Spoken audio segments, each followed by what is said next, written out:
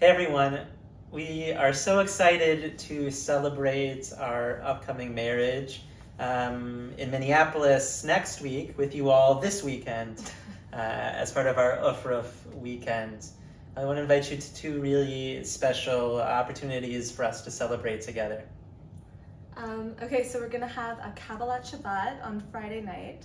Uh, so it'll be mostly a musical service, singing in a round uh, with candlelight in the middle. And then on Saturday morning, you're invited to join us for services, and we're going to receive a special blessing and then have a nice Kiddush lunch after.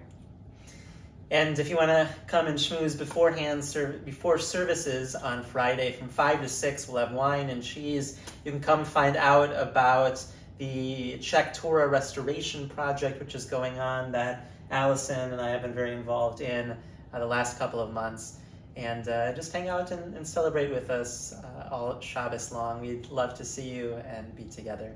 Yeah, it's going to be a really special time. And this Torah fundraiser is such an exciting opportunity to really celebrate our families, lift up the generations, and it feels like a really nice fit um, for our wedding weekend to also talk about this Torah, which is so special. Hope to see you on Shabbos and have a sweet week in Shabbos. Shabbat Shalom.